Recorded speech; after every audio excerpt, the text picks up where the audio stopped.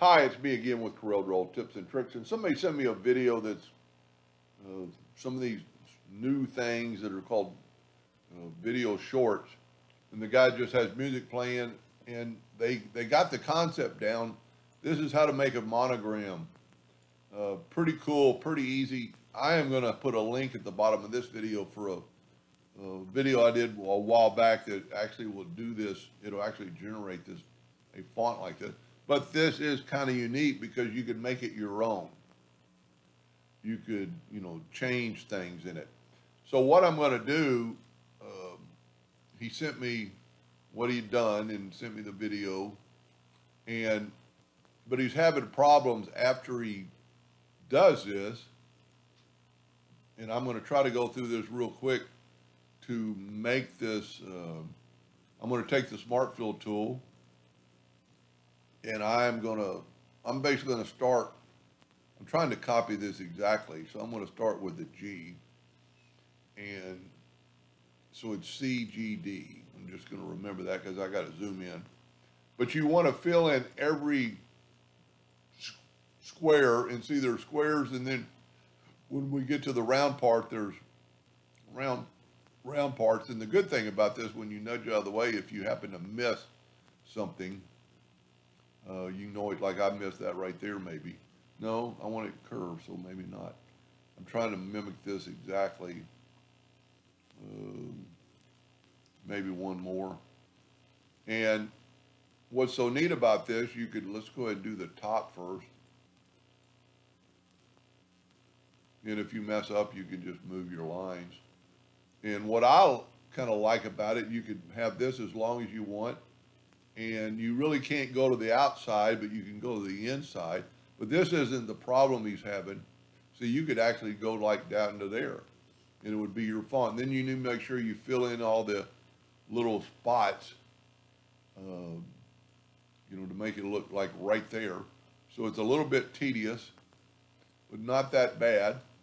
And then let's, I'm going to do one other letter, and then I'm going to show them how to uh, get around their problem, which I think, I think I've figured out what their problem is. Because you're, you've gotten, uh, well, the best way to, well, let's just wait. And this is a little bit tedious going up this D. I would go through the bigger parts and come back and get the smaller parts.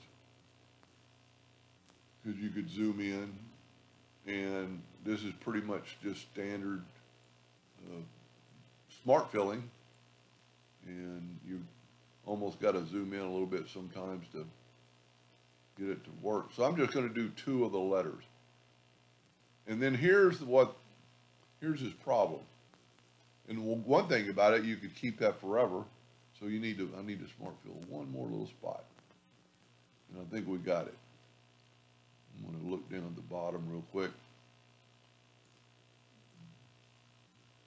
Yep, see two more little bitty spots to make it perfect. And then we're going to do a pretty good little trick, maybe one more little spot. And the good thing about it, once you nudge it over, you could still. So these are grouped together. So we can just nudge these lines out of the way. There must be some invisible lines in his drawing. You see, now we got all these black lines. So we need to take away the outline.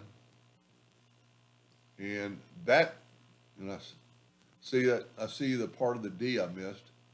Um, let's get these lines back. And this is what's so good about nudging. Um, there's two little bitty parts right in here I missed. Tell you what, let's do this. Let's, uh, let's group this whole thing together. Control G, that'll help us. And we must have just missed two little bitty parts right there. And because we've, and also I realize in his file, he's filling in, I don't want any fill. So that was one of the problems. And I, while I'm here, I see two more little spots. So you know, you wouldn't want to do this for the whole alphabet, but if you had it for just a glass, and because we've nudged we can regroup this, we can nudge it all out of the way. Now, if we take this and go to object and combine, it does some messy tricks. Not sure why, and that was his problem. So here's, here's what I would do. Of course, you'd want the other letter in there. But just take the Smart Fill tool, take a rectangle, take the Smart Fill tool. We'll do something other than blue, so we're gonna go black. And I'm gonna nudge that over twice and then do the inside. Then take your Smart Fill tool, set on whatever color you want and fill in that gap. Now you don't have that. Now these are solid colors. They're not a bunch of, of broken color. And the chance of having a line in there, you know, if we, uh, because we haven't grouped this together yet, well, I'm grabbing the box. See, we got all these sections, We're here we don't. That's a one solid line. So the Smart Fill tool will, does a lot of good in, in cases like this. Now I wish I would have taken the time to do the other letter, but this is my final result when I was kind of playing with it before. And I, I see I missed a couple points there, right there. Anyway, I hope that helped him a little bit. Thank you for watching.